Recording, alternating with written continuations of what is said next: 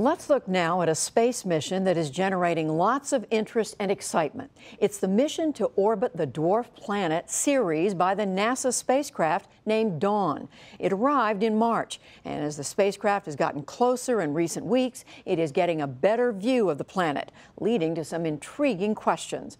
Our team sat down with Dawn's mission director in California and put together this video. We launched Dawn from Cape Canaveral in September 2007. In my view, Dawn is exploring two of the last uncharted worlds in the inner solar system. In more than 57 years of space exploration, it's the only spacecraft ever to orbit two extraterrestrial destinations. I'm Marc Rayman, the Chief Engineer and Mission Director for the Dawn mission.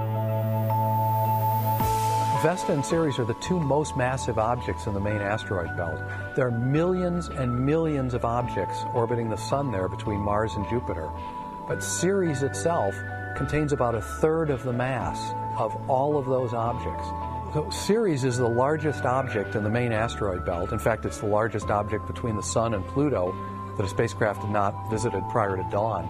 So it's almost 600 miles across. This is a big place. It's more than a million square miles. It's got 38% of the area of the continental United States. Ceres and Vesta, they're remnants from the epoch in our solar system of the formation of planets, the dawn of our solar system. And so scientists want to study these bodies because they may tell us more about the conditions and the processes that were acting at the time planets formed. As dawn got closer to Ceres, one of the first things we saw were these bright spots.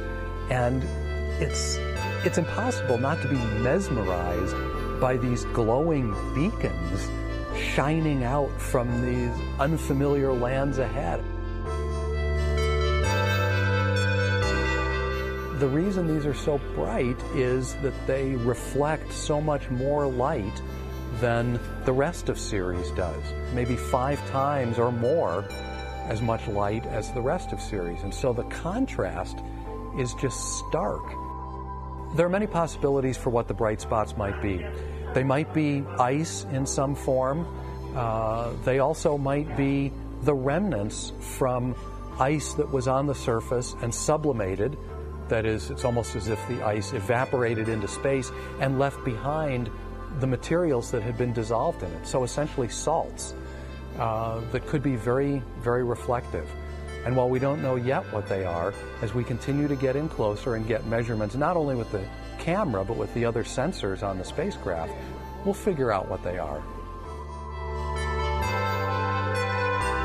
What it is about them whether it's a difference in the chemical, compositional nature of this material, or something about its structure, its makeup, why it reflects so much more light, we don't know. And it makes you want to send a spacecraft there to find out, and by golly, that's what we're doing. At Ceres, we fly the spacecraft in four different orbits in order to study this alien world. So we started out in an orbit 8,400 miles high, and then eventually we will fly it down to only about 230 miles, which is actually a little bit closer to the surface of Ceres than the International Space Station is to the surface of Earth. Part of what's so exciting is not only does each orbit answer questions for us, but it raises new questions. And then we can answer those questions by going lower and getting more detailed data.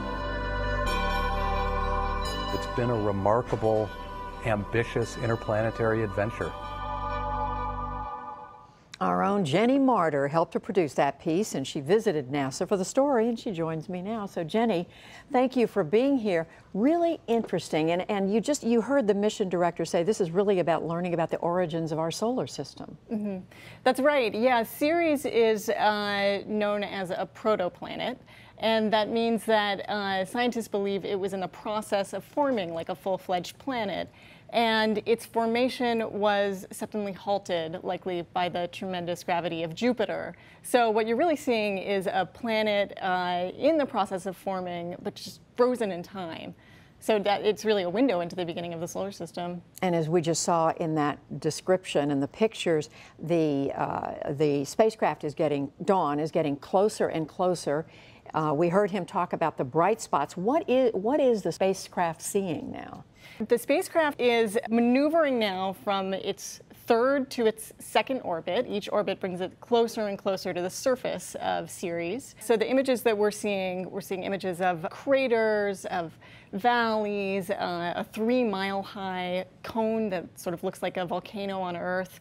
And we're seeing these bright spots, which are very interesting. In August, we'll start getting a new crop of photos. Uh, these are images uh, coming from Dawn at the third orbit. Uh, those photos will be three times sharper than the images we're seeing now. And then in early December, when it gets to its closest altitude, uh, those will be 12 times sharper than what we're seeing now, and actually 850 times sharper than what we were seeing back in January when Dawn first started capturing these images. So, still trying to figure out if there could have been life or could be life on this dwarf planet. Yeah, that's a really interesting question. It's a question that this mission uh, likely won't answer because they're not collecting anything from the surface of the planet. They'll just they're just orbiting it. However, uh, Ceres does seem to poss very possibly have uh, the ingredients for life. Because of least, those bright spots. At least as we know it on Earth, life requires three ingredients uh, food, water, and energy. And uh, the energy could come from radioactive nuclear decay from the planet's interior. Uh, the planet is very dark, uh, which they think indicates uh, carbon rich compounds on the surface. And then the third ingredient is water, and it looks like it's likely that these bright spots uh, are evidence of water, of a liquid water mantle underneath the surface. Well, it sounds like the scientists are very excited about this. Yeah, it's you know what's so cool about this is it's this incredible detective story that we're just seeing unfold in real time. And as we get closer and closer to the surface of Ceres, this planet just comes increasingly into focus. Jenny Marder, thank you very much. Thank you. And you can learn more about the Dawn mission to Ceres by going to our website, pbs.org/newshour.